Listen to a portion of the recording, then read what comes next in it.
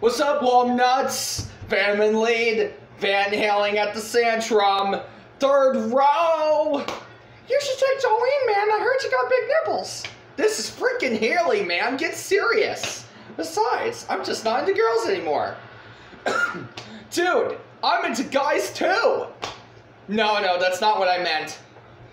I'm into women. Hey, Mary, I got two tickets to Van Halen this weekend. What time should I pick you up? It is Miss McGarricle, Donnie, and that's good, but I am your teacher, not your girlfriend.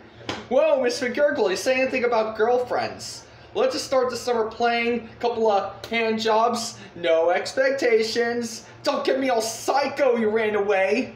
That is a That is a month's detention. what's a hand job? I don't know, but I really want one.